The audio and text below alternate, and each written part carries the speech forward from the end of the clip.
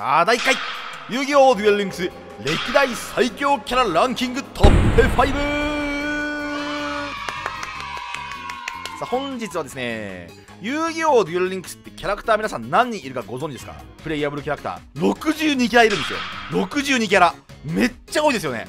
62キャラいる中でその中から私が思う歴代最強キャラ5人発表していきたいと思います。トップ5基本ね、あのー、このレベル報酬あるじゃないですか。レベル報酬とあとスキル。であの判断していきたいというふうに思っております。早速やっていきましょう。第5位はこちら。デュエルこそが俺の生きる証というわけでねヘルカイザー両選手。グオレンダー。この人はですね1個ガチでやばいスキルがありましてそれがまあ大きな要因なんですけども、まあ、それがサイバー利用儀っていうねぶち壊れスキルあまりにもぶち壊れ。これあのー、2回くらいもう修正食らってるんですよ。スキル修正が入りまして。2回修正入ってんのにまだ強いっていうね。どんだけ強かった？最初。最初最初の設定値おかしいだろ。あのー、今はライフポイントが2000以下の場合に使用できてでプロトサイバーが出せてでプロトサイバーは殴れないというあの仕様だったんですけど昔は1000減ったら使えてでプロトサイバーが殴れました。昔はね。だからあのサイバードラゴンデッキじゃないデッキで悪用されまくってたんですよ。例えばなんか巨大決戦のデッキとか あとえー、っとサイキック系のデッキでなんかそのワンキル取ったりとかあとライトロードでなんかジャッジメントドラグーン出してプロトサイバーも出して殴るみたいなね。強引ワンキルデッキというのをねあの生み出しまくっておりました。このスキル。で、まあ、今はねあの融合モンスターでしか攻撃できないよみたいなね効果になったんですけども。このスキルがあるだけで、まあ、十分ですよね。もう、あの、他のキャラクターの10個分ぐらいの強さあるんでスキル的には。で、えっと、カード報酬は正直まあそんなに大したくないかなっていう。そんなに大したくないかなって、まあ、これも面白いですけど、まあ、そんなに大したくないかなっていう感じなんですけど、えー、まあそのサイバー利用儀とあと他にもですねこいつ意外とスキル強いんですよね。汎用スキル。まずバランス持ってるんですよ。あの聖騎士とか。えー、それから豪気とかああいうデッキ使いこなせますよっていう。まあこれも多分そのうち修正されると思うんですけどもあの次の KC 間が終わったらね。でえっ、ー、とヘビースターこれ昔あのブラックフェザーっていうデッキヘビースター入れるとなんか初手死亡率80%みたいな時あったんですよ。だからそれ使いこなしましたし今は別にいいですけど。とかあと融合の使い手。これはムーンライト。あの使いこなしましたから。だからこいつと当たるとムーンライトかサイバーかどっちか分かんないっていうね。結構なんかデッキがそのキャラクターに当たって相手のデッキが分かんないっていうのは結構情報戦としてはやっぱり有利に立てるんですよ、まあ、いわゆるサイバー流詐欺ってやつですねこれね。はい。というわけでキャラクター性の第5位ベルカイザー両選手でした。さあ続きまして第4位。こちら。力を上げるよ私が。というわけでね採用拓磨選手。これねあのカード報酬もまず強いんですよ実はあの他のキャラクターって意外とカード報酬結構弱いんですけどこいつねデビルコメディアンっていうねレベル42これすげえ強いよね。このカード。強いし、まあ、あのアルカナフォースを使ってるね人だったら結構嬉しい報酬なんじゃないかなってことでまあそこまで悪くはない。あの報酬も。でこいつの一番やばいところはちょっとリンクスやってない人も結構いると思うんで僕の動画見てる人。あの簡単に言うとですね1人だけ強欲な壺が使えるんですよ。これ何かっていうとこれ絶対運命力っていうねこの最強スキル、えー、自分がコイントスを行う場合3回まで必ず表が出るっていうねこれあまりにもヤバすぎるスキル。これ何言ってんのっていうね何を言ってるんですか。コイントスするカードって大体めっちゃ強いんですよ。例えばえー、っとミズ・ジャッジとかあのツインバレルとかデスペラードとかってあれ当たるかどうか分かんないからまあそこそこ許されてるところあるじゃないですか。例えばこれこれね。コイントスを2回行ってで、えー、と2回とも表だったら無効にするっていう効果なんですけどこれ強いじゃないですか。でも2回と表になる確率ってすげえ低いんですよ。25%か？あなんですけどこれ確定で2回表になるって言ったら絶対無効にできるってことじゃないですか。それはさやりすぎじゃないか。そしてこのカードね。カップオブエース。問題児。リンクス界最大の問題児。リミットにこれリミットにってどういうことだって思うけどこれリミットにって意味わかんないですよね。コイントスを1回行って表が出た場合自分はデッキからカードを2枚ドローすると。絶対表出るんですよ。この人。だから2枚絶対ドローできるんですよ。先行書でカップオブエース2発とか打たれたらもうほんと心折れるからね。やばいって。これやりすぎだって。あの一撃させまいは絶対戦闘で破壊されないし。つえ強えよな。これやっぱこのスキルやばいわ。であのー、実はこのスキル自体も結構修正が入ってましてもともとはね5種類だったと思うんですけどね今は7種類以上ねコイントスをするカードが入ってないといけないみたいな感じですけどあんまりね関係ないねコイントスするカード強いんで基本的には。コイントスってのは当たったら強いけど当たるかどうか分かんないから許されるわけ。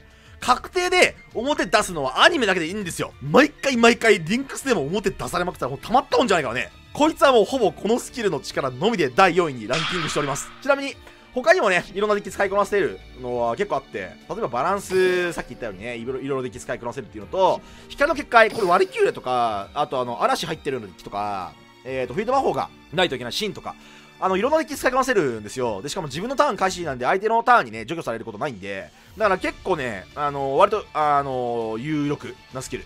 で、ヘビースターターはさっき言ったように BF とか使いましたし、あとリスタートはね、あの、聖騎士の前のサシュービート、あの、カラクリっていうね、あのー、サシュービート、今、聖騎士とか、あの、流行ってますけど、あの、1個前は、あの、カラクリっていうもっとやべえ先行制圧モンスターたちがいたんですよ。その辺のね、デッキを使いましたっていう意味で強かったかなと。さあ、続きまして第3位ですね。第3位はこちらのキャラクター。私の戦術をお見せしましょう。というわけで、石津姉さん。おっぱいがでかいから違うわ。あの、こいつね、今は騒ぐほど強くはないとは思うんだけど、昔マジで石津しかいなかったんですよ。デュエルリンクス界。石津しかいなかったんですよ、昔。遊戯王石津リンクスって言われてましたからね、昔は。これ、なんでかっていうと、あの、まあ、スキル修正が入りましたよ、いくつか。あのー、まずですね、ぶち壊れスキルをいくつか持っていました。まずは墓所封印。これ、今はライフポイントが1000以上少ない時にしか使用できないというね、ルールになってるんですけれども、これね、昔はですね、こんなルールなかったんですよ。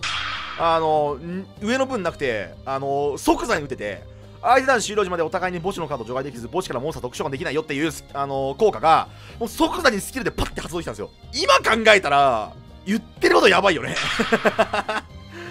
今考えたらよくそんな環境で墓地を許されてたと思うんだけどすごいわ。まあカードパワーがね今よりもなかったんですけどこれやばいな。あの一応修正されて1000以上少ない時っていうのが追加されましたけどね。はい。で、えっと、同じ感じでこれもやばくて厳正復帰の制約っていうライフポイントが相手よりも2000以上少ない時に、えっ、ー、と、墓地の相手のモンスターを全部ワイトに変えるっていう、これがやべえんだわ。これが実はやばくて、これ今2000以上なんですけど、昔1000以上だったんですよ。だから、コズミックサイクロン一発ぶち込んだらもう厳正復帰できたんですね。だからあのー、相手のコズミック、イシズのコズミックにはコズミックチェーンしろって言われてたんですけども、昔はね、厳正復帰の制約何がやべえかっていうと、墓地リソースを全部ワイトに変えちゃうんで、実質相手の墓地のカードなくなるんですよ。例えば、今だったら、まあ、サンダードラゴンとか、えー、っと、クリストロンとかやばいね。クリストロンなんて、厳正復帰で墓地のカード全部ワイドに変えられたら、もう目も当てらんない。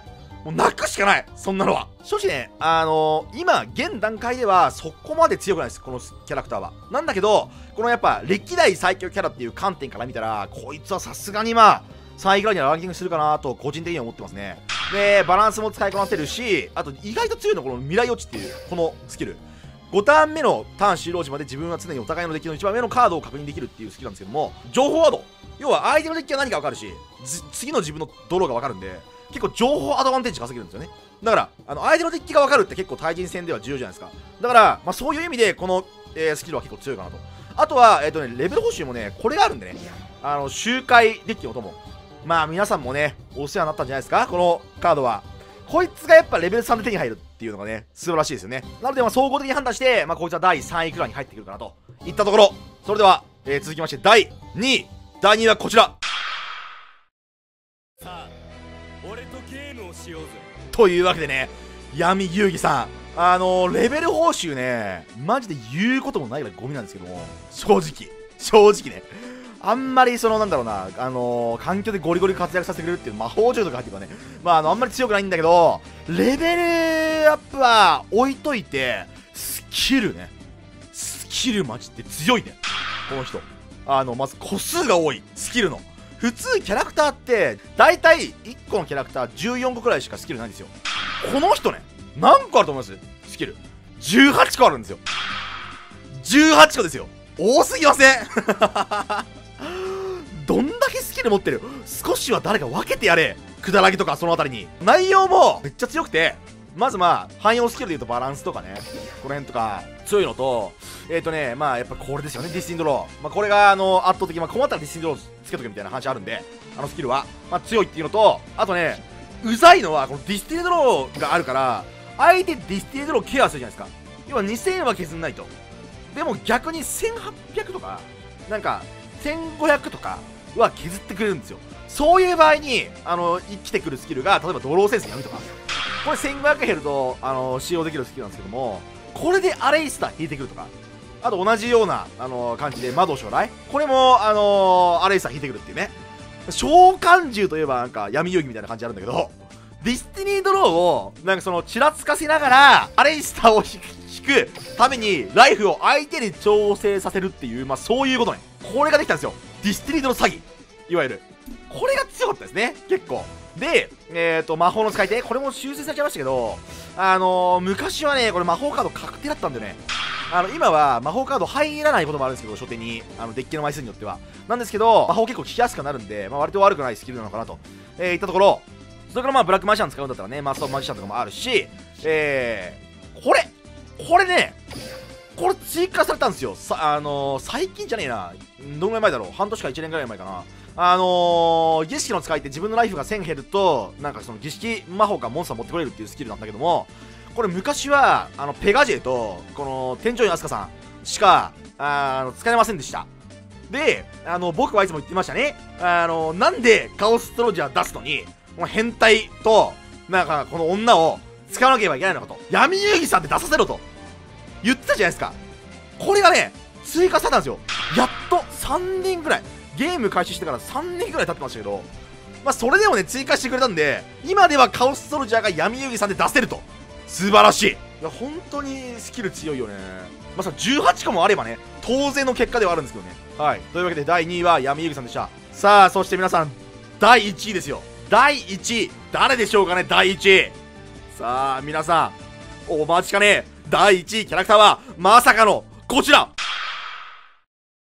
私だってチーム 5Ds の一員よ。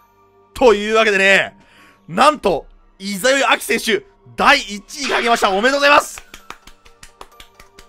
あの、レベル報酬はね、ほんと言うことないんで、マジで、あのちょ弱すぎて。ここはまあ あの、一回置いとくんですけど、スキルこいつめっちゃ強いんだよね。めっちゃ強いんだよ、このキャラクター、実は。えー、まずですね、えー、っと、使えるデッキ、あの、スキルとともにあの発表していきましょう。えー、ドローセンス闇、えー、これでまあ召喚獣デッキがね、えー、使いました。昔ね。今はちょっと、あの若干召喚師アレイスターのリミットがきついですけど、えー、使いました。えー、それからバランス、これによってあの聖騎士とかね、豪気とかが使いこなせます。で、墓地より芽吹くもので、えーと、シンクロデッキも使いこなせますし、芽吹くブラマジとか、ああいうなんかその邪道な、あの、混ぜ物デッキみたいなやつも使いこなせますね。これやっぱ、あの、ダークバージャーが墓地にあるっていう、まあ、アドバンテージ稼いでるんで、まあ、非常に強いスキルですね。それから、えっと、リスタート。これあの、サッシュビートと言われていたカラクリが使いこなせました。えー、レベルコピー。今だとサンダードラゴンとか、えー、が使いこなせますね。あと、白縫いとかも使いこなせました。で、レベル上昇も、えっ、ー、と、白縫いとか、あと、超獣武者とかも使いこなせましたね。というわけで、こいつね、使いこなせるデッキ多すぎるんですよ。マジで、こいつ出てきても何できか分かんねえっていう。アキちゃん出てきたけどこいつ何でき使ってんだっていうの分かんないっていうね。そんぐらいいろんな幅のあるデッキを使いこなせたんでそういう意味でこいつ一番強かったんじゃねえかなと個人的には思っている。あとめっちゃおっぱいがでかい。はい。というわけで皆さんいかがでしたでしょうか？昔やばかったっていう意味ではね。例えばなんかアンズとかデュエルスタンバイとかねあのライフコストゼロみたいな あれとか入ってくると思うんだけどもまあ、やっぱり普通に総合的な判断をすると、この5人になるかなと、私は思いました。今回ね、あのー、ランキングに入ってないんだけど、このゼロキャラクター。こいつらとかめっちゃ強いんですよ。まあ、めっちゃ強いんですけど、まだ実装されたばっかりなんで、まあちょっと総合的なあの歴代っていうの判断ではまずちょっと早いかなと思って、えー、ランキングには入れておりません。またね、ちょっと時が経ったら、えー、ランキング見直してみようかなと思っております。最後までご視聴いただきましてありがとうございました。また次の動画でお会いしましょう。じゃあな。